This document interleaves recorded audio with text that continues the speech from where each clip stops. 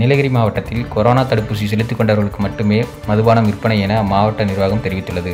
தடுப்பூசி போடாதவர்களுக்கு மதுபானம் விற்பனை இல்லை என அம்மாவட்ட ஆட்சியர் இன்னசென்ட் திவ்யா அறிவித்துள்ளார்.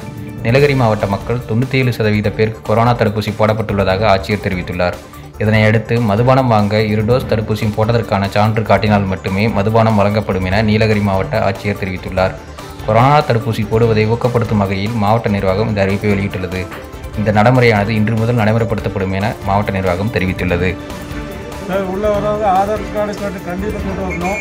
கம்பல்சரி வேக்சின் போட்ட சர்டிஃபிகேட் கொண்டு வரணும்.